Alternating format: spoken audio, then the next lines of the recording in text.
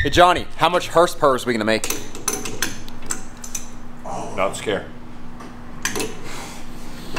Good enough.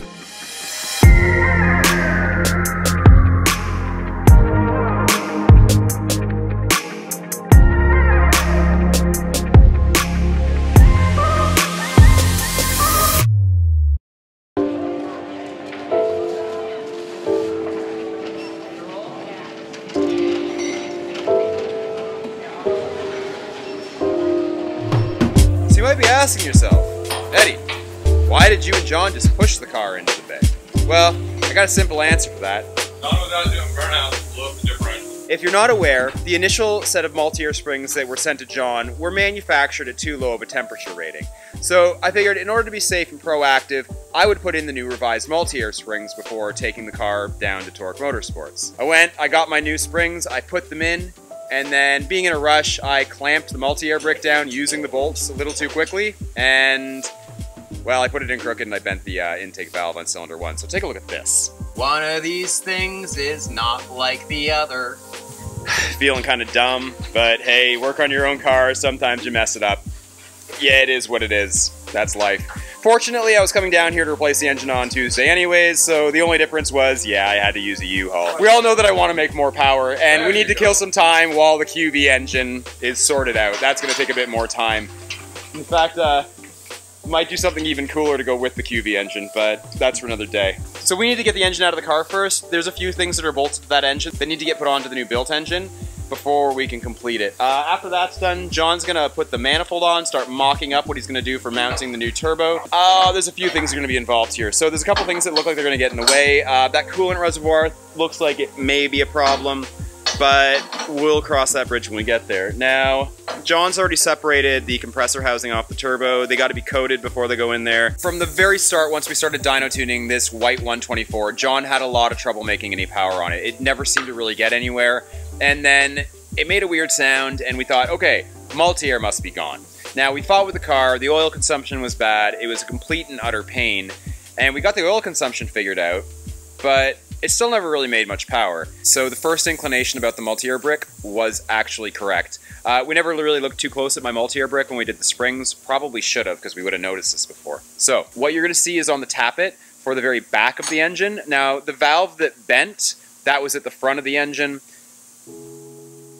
So just to clarify, it's a completely different piece. Now, John, you want to show what happened? Okay, so when I was looking at the brick, uh, the tappets, uh, right now we have no oil pressure on it and it's all flush and flat. And so I was like, okay, so we have it sitting flush. It looks really good. And I was thinking to myself, well, why does this one, one of the tappets look further down than the rest?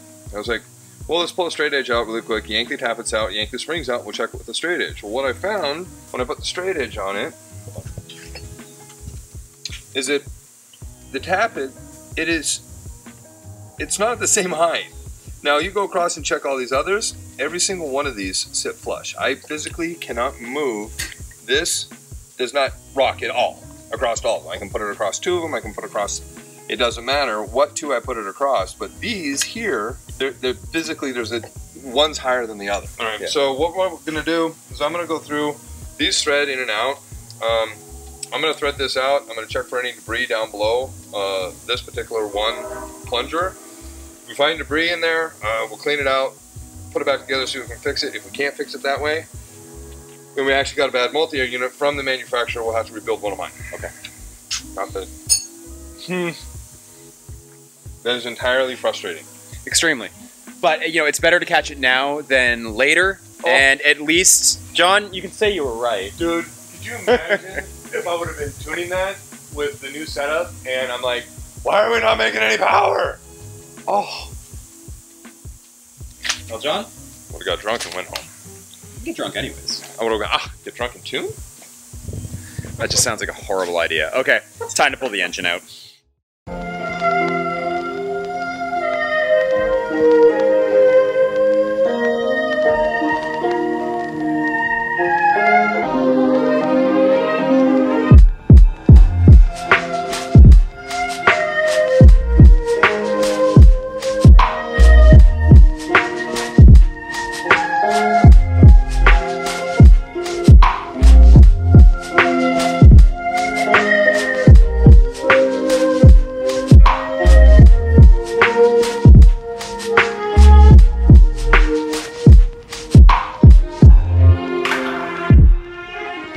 Way back down to the shop for day two. Uh, I already called a machine shop this morning and got something sorted out. So we have a machine shop to drop the 124 block off to get bored out and honed. So we're good to go. That's gonna delay.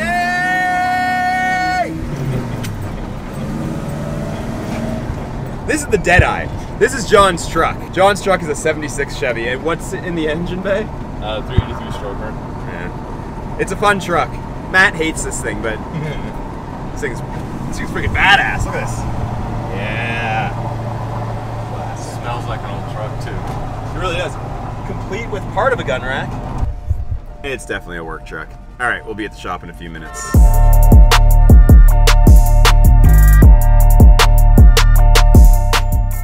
So I'm gonna go inside. I'm gonna get some prep done on the valve cover and the turbo compressor housing. Uh, we're gonna do those in bright orange. I figure, you know, I've been doing the colors I want for a long time. This time I wanna rep John's shop. So we're gonna run the shop colors in the car. Uh, once that's done, we'll finish pulling out the rest of the engine and John can start building the turbo kit.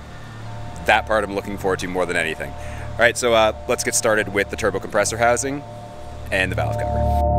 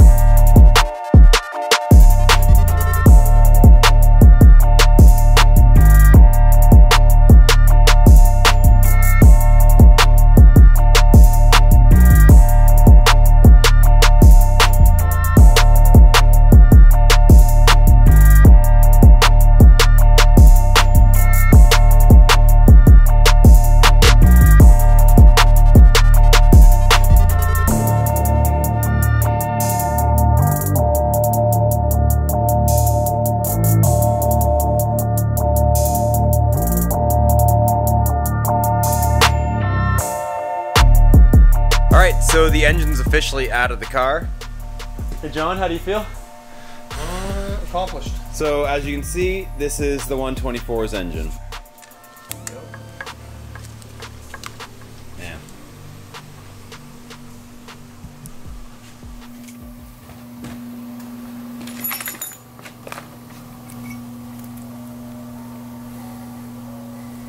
Is that in the rotation it's already going to be in, roughly? Turbo looks fantastic. That color came out really good.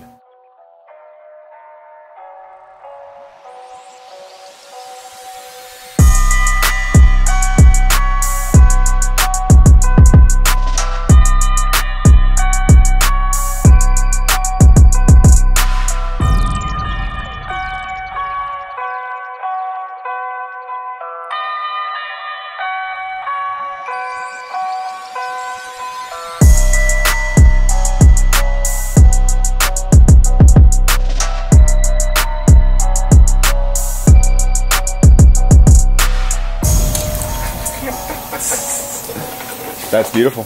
That is absolutely beautiful. And I believe that that is.